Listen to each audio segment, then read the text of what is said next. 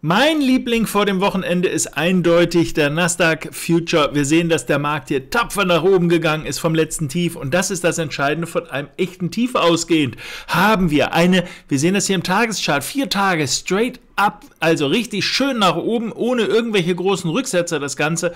Auch hier im 4-Stunden-Chart zu sehen. Natürlich intraday gibt es immer mal irgendwelche Rücksetzer, mal wegen der Notenbank oder sonst wegen Kleinigkeiten, aber insgesamt die Bewegung der letzten vier Tage nach oben. Und zwar, und das ist wichtig, in keiner Form irgendwie korrektiv, sondern mit einer klaren, starken Ansage, was die Richtung angeht. Und das lässt hoffen, dass sobald wir einen Rücksetzer bekommen, der ein bisschen größer vielleicht mal ist, Stichwort in diesem Fall, ich zeichne das mal im 4-Stunden-Chart ein, machen wir es mal ein bisschen größer, damit ihr es auch mobil besser erkennen können, von diesem Tiefpunkt ausgehend, vom bis zum aktuellen Hochpunkt. Aber vorsichtig, wir wissen nicht, ob das hier bleibt. Das ist denkbar. Ich hatte eine ähnliche Zeichnung vor kurzem schon mal gezeigt. Und was hat der Kurs gemacht? Er ist noch weiter gestiegen. Ich, irgendwie so ein Hoch hier irgendwie.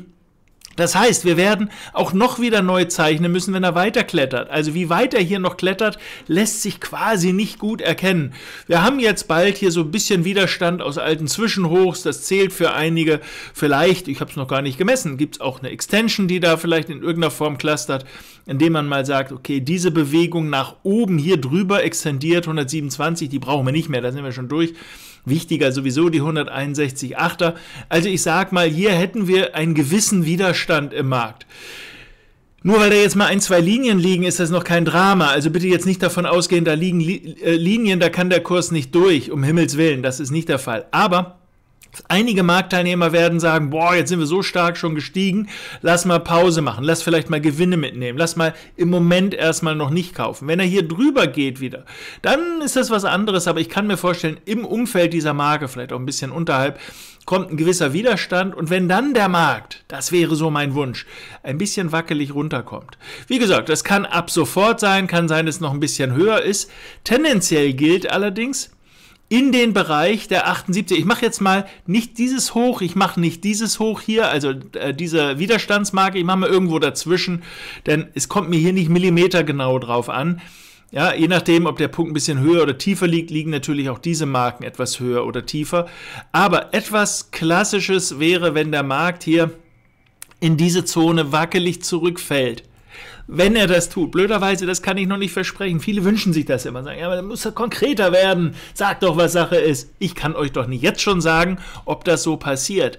Was ich aber sagen kann, ist, wenn der Markt so ein Verhaltensmuster zeigt, so wie es jetzt blau gemalt ist, den ersten Teil hat er ja schon, aber den zweiten Teil, der ist noch Fantasie.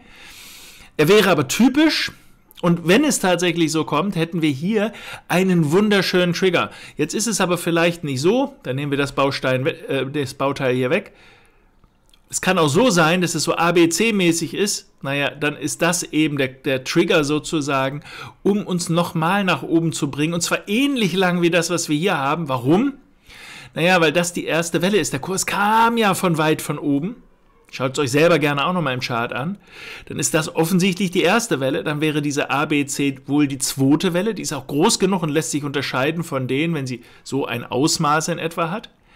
Und dann könnten wir von dort aus die Long-Seite fahren. Ich vermute, das wird vorm Wochenende nichts mehr. Es kann sein, dass wir jetzt vorm Wochenende hier in diese Geschichte kommen, dass der ein oder andere Marktteilnehmer sagt, boah, ich nehme mal vielleicht ein bisschen Gewinne mit. Heute ist auch noch Verfall. Das mag auch nochmal dafür wirken, dass der Preis vielleicht äh, nochmal ein bisschen einen Einfluss hat.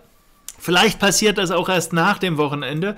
Das werden wir dann sehen. Das äh, werden wir äh, eh abwarten müssen. Aber das würde dann hier die Aufwärtsrichtung bringen. Jetzt noch einzusteigen auf diesen großen Zeitebenen finde ich nicht besonders clever, zumal ich ja schon ausgemacht habe, dass so die ungefähre Marke beim Future wohlgemerkt von 14.400 ein möglicher Widerstandsbereich ist. Er kann auch ein bisschen tiefer sein, ein bisschen höher. Das äh, geht hier nicht um 100 Punkte genau. Aber hey, wir reden hier über einen Anstieg, der über über 1000 Punkte gegangen ist. Dann müssen wir da oben auch nicht super pingelig sein, was das angeht. Insgesamt wäre das aber erstmal ein ganz gutes Zeichen, würde auch in dieses große Bild passen, wo wir gesagt haben, mindestens mal eine Teilgegenbewegung, die vielleicht sich ja noch ausweitet, vielleicht auch nicht. Aber zumindest diesen Teil hier, den haben wohl beide Ideen grundsätzlich erstmal gleich. Und diese Idee, die wir hier haben, das ist nichts anderes als diese hier. Sprich, das wird das nächste Spannende. Für unsere Intraday-Freunde, die jetzt sagen, boah, da will ich aber nicht drauf warten, ich will ja heute Nachmittag vielleicht schon was machen. Der letzte, der jüngste Arm geht nach oben. Es ist ganz sicher nicht die erste Bewegung. Da müssen wir, glaube ich, nicht drüber diskutieren. Warum nicht? Weil der Kurs ja schon von unten kam. Trotz alledem, solange die Bewegungen nach unten eher wackelig sind, also solange diese Bewegung ist eine ganz klare Abwärtsbewegung, machen wir uns nichts vor, und die ist ganz klar wackelig, solange das so ist, ist es wohl eher eine Fortsetzung nach oben. Das dürfte auch heute Nachmittag für alle Freunde des Intraday-Handels der Fall sein, also das mal im Hinterkopf behalten. Alternativ, ich muss es leider so sagen, wenn der Markt eben nicht wackelig runterkommt, sondern so, dann wären das eben Einstiege auf der Abwärtsseite, die dann möglich wären, also für unsere Zeit. Teilzeit-Shorties sozusagen, dass der Markt nochmal nach unten geht und vielleicht damit sogar dann dieses etwas größere Bild eingeleitet wird. Viele wünschen sich natürlich, naja, Moment, ich bin jetzt hier schon long, ich würde gerne vorher wissen, ob das passiert oder ob das passiert. Ja, ich auch. Ihr werdet keinen seriösen Ansager finden, der sagt, ganz sicher, ich kann euch das sagen. Also Ansager, die sagen, das passiert oder das passiert, gibt es immer wieder. Aber mit einer seriösen Aussage, dass das jetzt ganz sicher kommt, ist, hat das alles nichts zu tun. Aber ihr könnt natürlich sagen, wenn ich hier schon sehe, dass wir so runterkommen, und wackelig hoch. Und das kann auch auf einer kleineren Ebene, kann ich ja auch mich von Longs zumindest vorzeitig verabschieden, denn es gibt immerhin nochmal diesen Zwischenshort und dann könnt ihr entweder diesen Short mitnehmen, das ist jetzt für die ganz kurzfristigen unter euch, oder aber eben äh, sagen, ich schließe meine Long-Position, bis der Kurs dann vielleicht hier das A, B, C, was wir hier haben, wieder nach oben durchschlägt. Ihr seht, es ist ein Hangeln von Korrektur zu Korrektur, von Dynamik zu Dynamik. Das allerdings ist häufig sehr offensichtlich. Nicht immer ist es klar zu sehen, aber wenn man es klar sieht, dann hat man da ganz gute Chancen. Ich will euch den S&P 500 nicht wärmstens empfehlen, denn der ist fast genauso wie der äh, Nasdaq. Insofern kann man den fast alternativ nehmen. Warum fast? Leider ist dieses Tief, also das Tief, nicht der tiefste Punkt. Wir hatten hier vorne ein. Das finde ich immer nicht ganz so schön, deshalb würde ich den Nasdaq da bevorzugen. Das grobe Bild ist hier aber genau das gleiche und deshalb die gleiche Schlussfolgerung. Im Groben ist es auch beim Dow Jones so, der ist allerdings doch noch mal ein bisschen anders, denn ich muss sagen, das, was ich hier beim Dow Jones sehe, das hat am ehesten noch mal so den Charakter einer Aufwärtskorrektur, wenn ich mir das angucke. Und hier wird jetzt entschieden, ob die Marktteilnehmer, ne, das war der falsche Knopf, ob die Marktteilnehmer Kraft und Willen genug haben, den Kurs da einfach durchzuprügeln durch weitere Käufe. Dann ist dieses Bild schnell vergessen. Oder ob man nicht sagt, nee, wir haben ja auch beim Nasdaq und S&P so langsam aber sicher Pause. Da warten wir mal und gucken mal, wie diese Abwärtsbewegung aussieht, ob die dann wieder stark ist in Fortsetzung dieser Geschichte, durchaus denkbar, oder ob die wackelig ist als Gegenstück zu dieser Geschichte und äh, na, vielleicht dann im Anschluss nochmal irgendwie eine Fortsetzung kommt. Das werden wir dann sehen, aber ebenfalls an diesem Teilstück. Also bullish Insgesamt der Mark am wenigsten. Alle Märkte sind in der Nähe einer Widerstandsmarke. Ich habe es eben gezeigt. Also insofern würde mich eine Gewinnmitnahme vom Wochenende sowieso. Wir haben Kriegssituation, keiner weiß, was richtig passiert. Man muss allerdings dazu sagen, für uns ist der Ukraine-Krieg ein natürlich viel, an, äh, viel intensiver wahrgenommenes äh, Moment, als das äh, bei den Amerikanern ist. Denn wenn man sich mal die gesamten Aktienbewegungen anschaut, das ist jetzt der Russell 2000, und uns hier mal anschauen, was seit Ende Februar passiert ist, dann stellen wir fest, eigentlich nichts.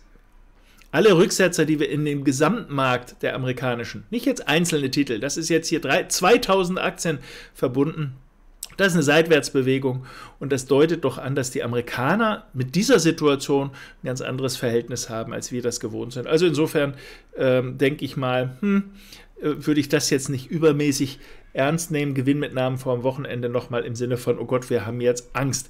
Das ist beim DAX ein bisschen anders, zumindest mal aktuell sehen wir das hier im 15-Minuten-Chart oder hier im Mehrstunden-Chart der DAX-Index zumindest mal ein wenig Schwäche hat. Allerdings muss man auch hier sagen, dass diese Abwärtsbewegung klassisch korrektiv aussieht.